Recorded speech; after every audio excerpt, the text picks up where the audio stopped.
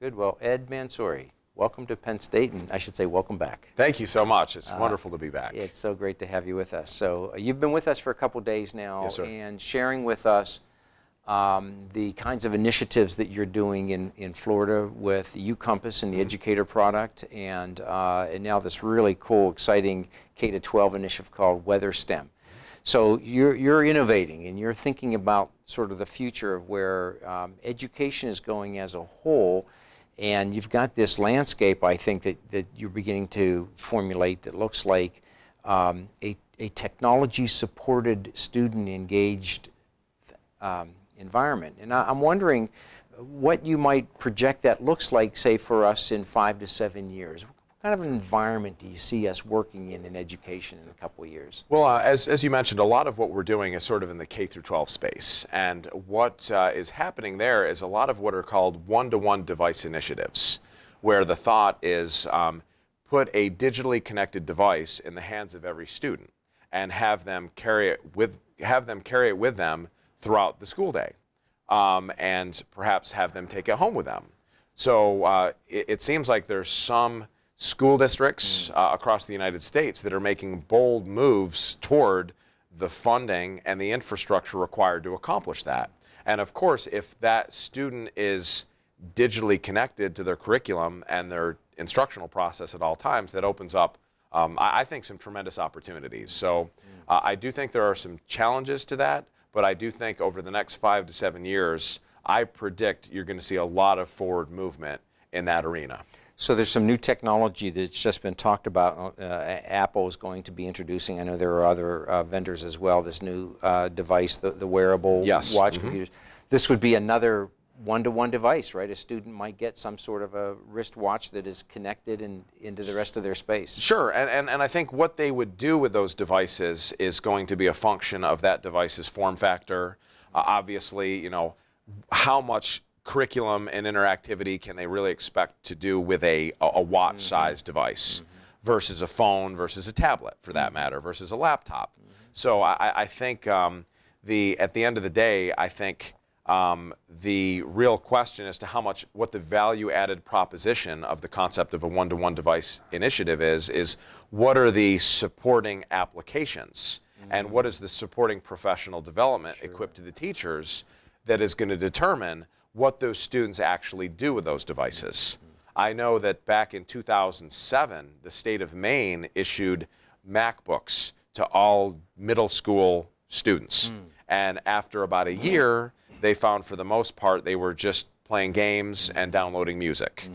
Uh, I know not too long ago the Unified School District of Los Angeles issued iPads to all their students, and after a period of time, uh, it, it didn't seem, it, it seemed a little bit of the cart before the horse. Right. And um, I am a proponent of, when, when I talk to school districts, really have the plan figured out as far as what those devices are going to do to enhance the educational process versus just throwing money at the situation Right. and putting these devices in kids' hands and then figuring it out later. Or hoping something. hoping something magical will yeah. happen. Yeah. I think it's it's a great great idea, um, and I like I like that perception of the vision. Um, these these new technologies, though, and you raised a couple interesting points about you know faculty preparation and and uh, costing and so forth. And I'm so I'm wondering. My second question for you has to do with maybe some of the barrier or challenges of us. So if we think about five to seven years out, students somehow either wearing technology or, or managing technology are going to be really connected into their environment. Sure. What do you see as some of the barriers that, that are, you know, might, might impede that kind of a vision? Well, I think the digital divide concept is going to become even more prevalent because I think um, just at the end of the day, pure economics is is wealthy school districts with a high tax base are likely going to have more capacities with which to put these devices in the hands of these children, and more cash-strapped districts are going to have have more pressure to validate that expenditure, mm-hmm. especially if they're being acquired through tax dollars. Mm-hmm. So I, I think we're already seeing this in, in the state that we operate primarily in, which is Florida. You're seeing some school districts like uh, Flagler County, which is mm-hmm. over on the East Coast, um, has, has a very well rounded one to one device initiative. but there's other districts that haven't even ha- haven't even op- cracked open the book on that concept. So I, I do think hmm. that that is a barrier because that might potentially impede the districts that are making a lot of progress because there might be policymakers that sort of put the brakes on them until the slower, less well-funded districts and environments are able to catch up. So I think that is a, that you know the economic aspects of it i- is a barrier, and um, you know we'll see what sort of programs come forward to maybe help the less funded environments catch up so that they can all move forward more quickly. So, you know, I want to I want to just pick up on a point though, because that's a subtle one, and it came from your the answer to your first question, and that has to do with um, how how do the students potentially uh, present themselves as a um, as a challenge in all of this. And, and here's where I'm going with that thought is, you know, we're talking about faculty preparation, we're talking about the funding mechanisms and so forth, but don't our students also um, present challenges in the the way they have to be skilled and trained to be th- this active and, and engaged and, and connected learner? Well, sure. If, if you have a classroom where it's assumed that every kid has a digital device that they're going to bring with them in order to participate in the day to day conduction of the educational process, kids are kids. Mm-hmm. They're going to leave their devices home. They're going to mm-hmm. come and they're not going to be charged. Mm-hmm. They're going to download viruses onto them. They're going to drop them. So I, I think that there is a whole level of preparation that needs to go into having contingency plans. Like what happens, you know, h- how do you power a large classroom of students the digital devices? So, you know, you're seeing like uh, a lot, if you go through the hallways of some of these schools that have some of these one-to-one device initiatives, you'll see these special charging carts that have these built-in batteries that they can wheel into different classrooms, and they have a bunch of different AC outlets. So, and then of course you have you know power consumption issues, mm-hmm. and um, so so there are a, a lot of expectations that would need to be brought forward to the student and the parent. Mm-hmm.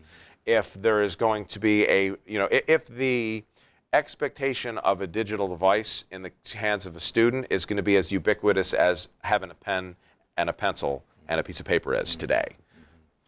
You know, I'm, I'm still kind of going on this idea, though, of um, faculty are going to need to rethink what it means to teach Sure. and to educate and to guide and facilitate. Students, though, are also going to have to change the way they see themselves. And maybe they'll do this more naturally because it'll be the environment they're placed in. But they're going to have to change as well from being consumers, mm-hmm. strictly consumers, being fed, to being active and, and bringing something to the table as well their own data or their own understanding of how to manage and manipulate that information. So Oh, it's going to be a very interesting ecosystem. Sure, and, and I think one of the exciting things when, when you talk about not just data but but media, mm. because you know even even small mobile phone sized devices have movie recording studios. So being able to have that at your fingertips and record something and share it in an educational discussion is really exciting. And the data aspects, another thing that I think will happen connected with this one-to-one digital device initiative is the emergence of probeware.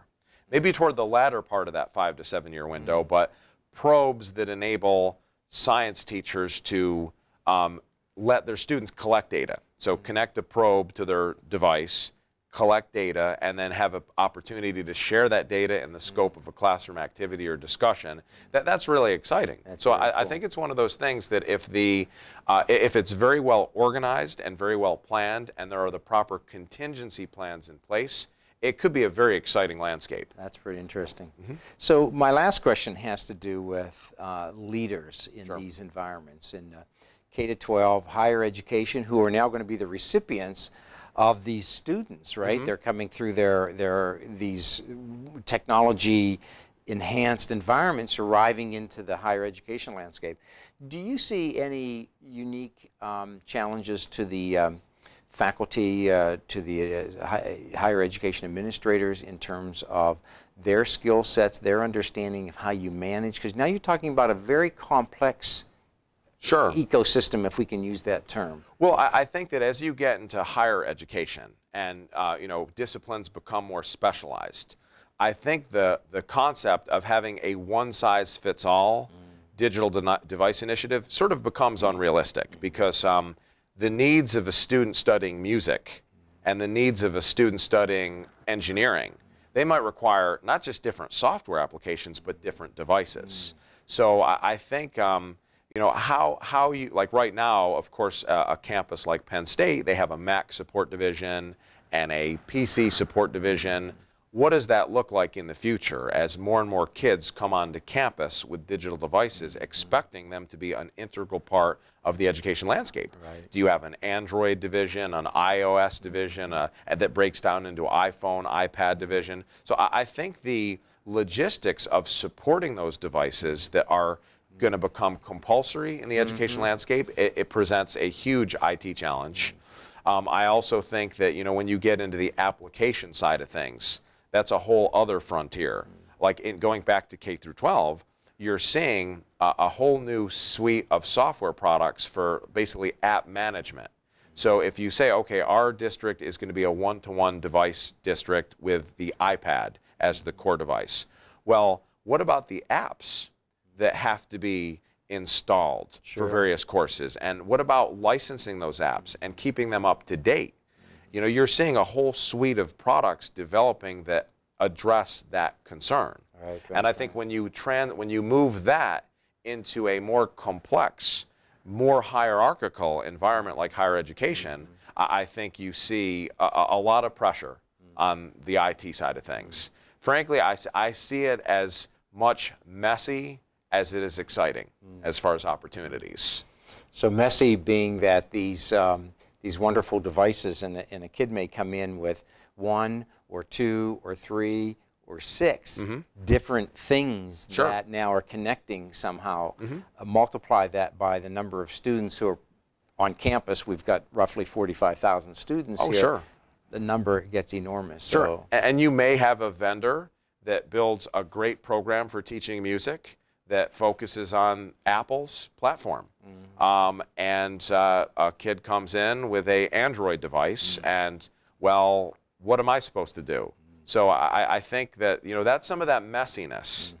But um, I, I still feel that with the capabilities of those things, to have a, uh, a movie studio, uh, a data collection environment, the world at your fingertips via the internet in your pocket, it, it just presents tremendous opportunities that, that I didn't have, you know, when I was in Yeah. the higher education environment. So I, I want to do one more question Sure. for you because this one just came to me. Uh, I, I happen to know that you're the parent of three very active uh, kids. Indeed. And um, so I'm wondering what, as a parent, Mm-hmm. what do you see as your responsibility to help those, your, your kids be prepared to function and operate in this technologically? you Well, know? I, I watched my two twins um, at the age, the iPad came out before their first birthday. And I watched them learn the, about the world numbers, colors, shapes on the iPad. So, um, and the same for my, my son, who my, I I have an autistic son, and there is a whole suite of apps that are specifically geared toward helping those students that, that, make uh, enable them to make wonderful progress. So I, I've I think it's been interesting to see it sort of automatically happen, just by having the device available, without even having to encourage them. Just the natural gesture, touching, and hearing sound and seeing color, uh, just just came very naturally to them. So I, I I think that's exciting. That that that's even more exciting when you think about that in the context of these one-to-one digital device initiatives. That these are these devices seem like they're almost natural extensions of our person. Right. And I don't know that parents are necessarily going to have. I think parents have to worry about keeping up with their kids. Yeah, I think that I think that the, it's sort of the reverse. I, I don't Sure. think there's a worry about you know the the parents having to encourage their students. I, I think parents have to be good parents at reinforcing the basics, like don't forget the things you have to be responsible for. Um, don't forget to take care of them.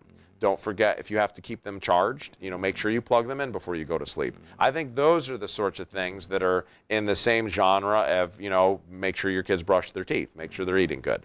So I think that just good old fashioned parenting sets the framework for helping kids develop the habits they need to reliably, reliably leverage these devices in a day-to-day educational context. So as a parent, when do you say, okay, that's enough technology for today, or how do you, I- how do you yes, I- balance I, that? I find myself saying that more and more. Uh, you know, we one of the devices that is very exciting um, that is, I think, in the on the peripheral of what we've been talking about is the the Apple TV device, Hmm. uh, and Apple TV basically can replace a projector Hmm. for you know because you can connect it to a TV or a flat panel, and then you can project your computer onto it. Mm-hmm. So, and, you know, from a home entertainment system, you know, you can search the internet with it and mm. find content to play on your TV. Mm. So, my toddlers, now small children, are spending a lot of time, and, and I'm often on a day-to-day basis saying, "All right, turn it off." yeah. Okay. So, um, and and same with the iPad. So, Yeah. it, it- it's definitely I've already started. Yeah. Like, let's get engaged with the real world now, Yes, guys. go outside Yeah. and play. Yeah, good. Okay, and, and my as a software developer, I, I I know a lot of software companies and products. They try to keep you in their product. They keep you in. Sure, there. But sure, you know, my philosophy has always been. I'll say very frankly, my job is to make sure that you can spend the least amount of time in front of the software as possible, Mm-hmm. so that you can get in, get out, learn and teach as effectively as possible, and then get out and enjoy the real world. And engage the real world. Yes. Terrific. Well, Ed, thank you so much for being with us. Thank I you. really appreciate Thank it. Thank you. This enjoyed was I enjoyed the questions and the dialogue. And, it was uh, it was exciting. Very good. Thank you. Thank you.